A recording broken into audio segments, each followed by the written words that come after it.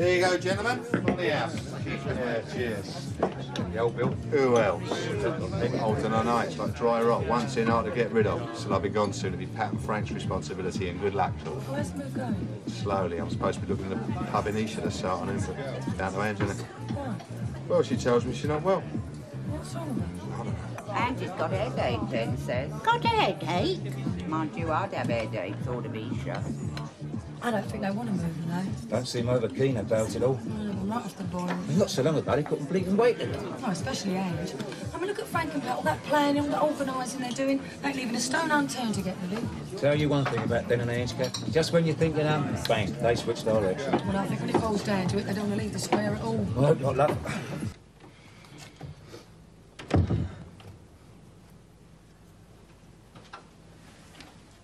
Mum, Yeah?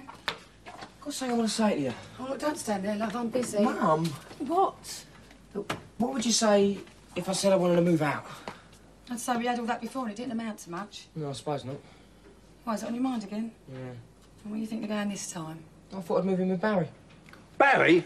What the bloody hell's going on? Look, Dad, I've got to leave home sometime, haven't I? Yeah, right, there's no argument there, son. I mean, that's life. No life isn't going to live with Barry. Son of mine live with a blinking teapot. He's straight, he ain't gay no more. Listen, boy, once a nose picker, always a nose picker. I wouldn't trust Barry if I was the back of my head. Oh, that ain't fair, Pete. Barry's a decent lad, whichever way you look at it. Kath, it's the way Barry looks at it that bothers me. You can't stop me, Dad. We'll see about you that. You can't. Look, we can't stop him if his mind's made up. What? And we wouldn't want to.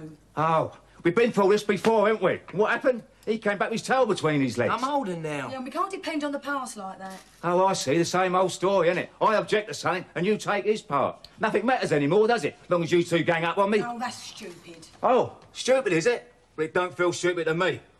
What about your tea? I'm not hungry. Oh, I'm sorry, Mum. Oh, it's all right. I'll have a word with him in a minute. Still going through with it.